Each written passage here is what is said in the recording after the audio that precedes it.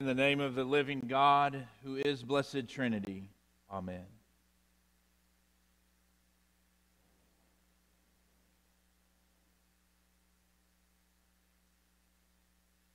In late March 1945, President Franklin Delano Roosevelt was exhausted. The previous month in February, he had went to Yalta for the famous conference with him, Winston Churchill, Joseph Stalin, where they began planning out what life might look like after World War II was finished. He returned home and was physically spent, and what many at the time didn't know was that his health was rapidly declining. So on March 29th, he left Washington to set out for a place that had always been for many years somewhere where he could get away and be rejuvenated. It was his beloved place in Warm Springs, Georgia. He went there and began resting and preparing for what the end of April was supposed to hold the inaugural convention of the United Nations. So he began resting, and some accounts were that for the first few days, it looked like he was regaining some strength.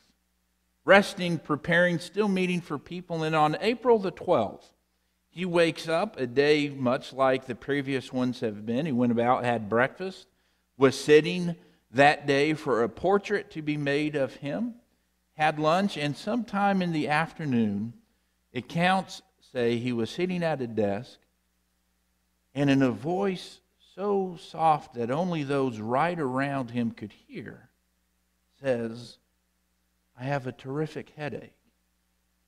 And at that moment, he lost unconsciousness. And a few hours later, died. For many at that time, those fighting in World War II, and for probably a whole generation in the United States, he was the only sense or picture of president that anybody had. Literally, had been in that job longer than anybody had. And if you wanted to know how do you define what a president is for many, it was look at Franklin Roosevelt. I mean, he was from a a wealthy family from Hyde Park, New York.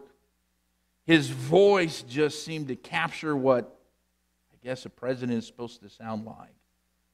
Just made you feel that that's how you define someone like that. But at that moment, a few hours after his death, Harry Truman was sworn in as president, and there couldn't have been a starker difference between these two people. If FDR was from a wealthy family in New York, Harry Truman was from a farm family in Independence, Missouri, growing, growing up on the farm, several ideas and businesses that didn't work out. But the picture of what a president is not supposed to be like is now there. What happens when we're in a place, when we're looking at somebody and they don't fit the picture we have in our minds. Today we celebrate Christ the King Sunday on the church calendar. Next Sunday uh, is the first Sunday of Advent, so come back and we're going to celebrate New Year's next Sunday as we begin yet another church year.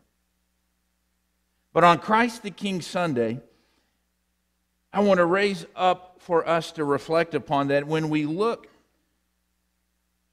at Luke's 23rd chapter and really all through the Gospels that Jesus hardly fits the picture then and maybe even now of what we might think a king should look like. When we encounter Jesus in Luke 23, he's hanging on the cross. He's at the almost very end of his life. He's hanging on the cross. It's a Roman attempt to shame and humiliate those deemed that should be on the cross. It's to hold up, say, This is what happens when you do what you did, and it's supposed to frighten and scare people. But through Luke's account, on three different, three different people say Jesus is innocent. Pilate and Herod said, We don't find any reason why he should be crucified. And then even the centurion, one of the guards, claims he is innocent, yet Jesus still hangs there. Listening as we did to the gospel lesson, the religious leaders scoffed at Jesus. The soldiers mocked Jesus. One of the criminals derided at Jesus, yet Jesus stayed there. The God of the universe is being shamed, and yet he's innocent.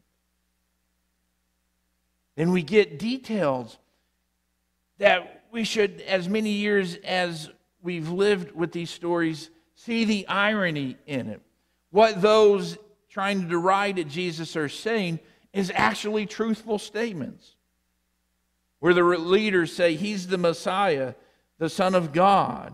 The sign is put up that says Jesus, King of the Jews.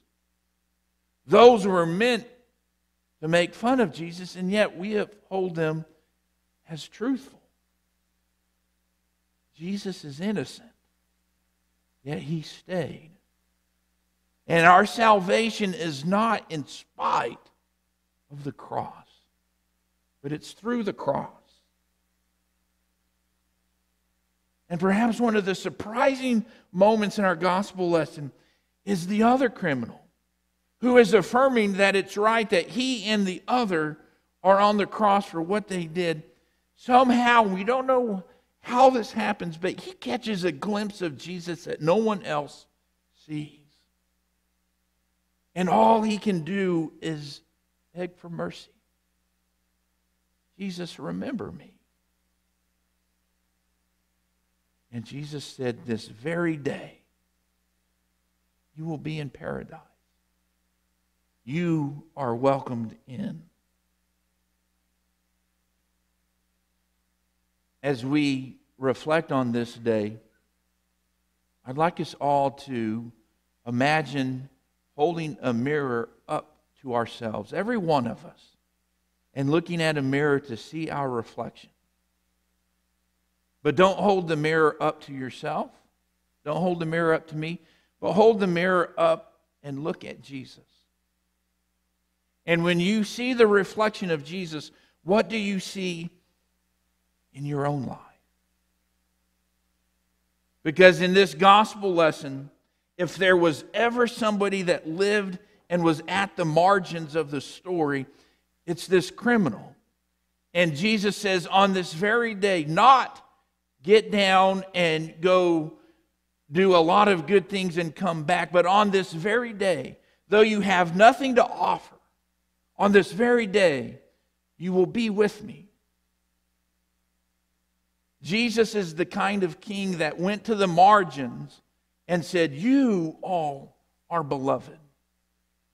To look at every single one of us and those that he encountered and said, You are beloved by God. Jesus did not keep people at the margins. To hold up the image of Jesus. Live into the gospel we will probably find a king that we're not always very comfortable with. And I say, thank God for that. Because in the cross of Jesus, we find life. Those we serve in Jesus' name, those that we will be serving in a few moments, when we serve each other People think of why we need to do this. We've been blessed with a lot of stuff to share, but we need to open ourselves up to others in those outside of our walls because it's in each other that we see Jesus. So we need to serve the least, the last, and the lost because we need to see Jesus. I need to walk alongside of you and help and have you help me in my life because I need to see Jesus in you. That's why we serve. That's the king that we celebrate today. So be careful. We did it in our collect. Be careful affirming Jesus as King of Kings. Not that Jesus isn't King of Kings, but to make that kind of affirmation, to say that Jesus is the King of Kings, that Jesus has my highest allegiance, then that means we measure ourselves by Jesus. And if we measure ourselves by Jesus and we look into a mirror and we see the reflection of Jesus, be careful. Because on Christ the King Sunday on and on any other day, Jesus is our measure of what a true king looks